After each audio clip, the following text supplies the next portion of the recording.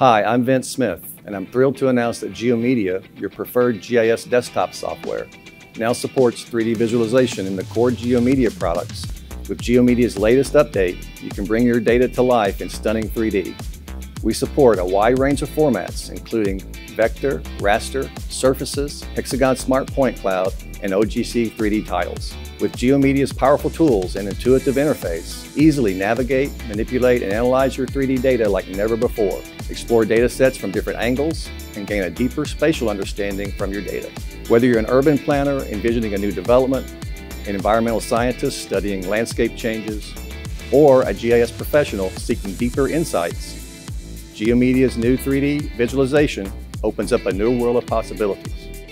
Unlock the power of 3D visualization with GeoMedia today and get GeoMedia 16.8 now.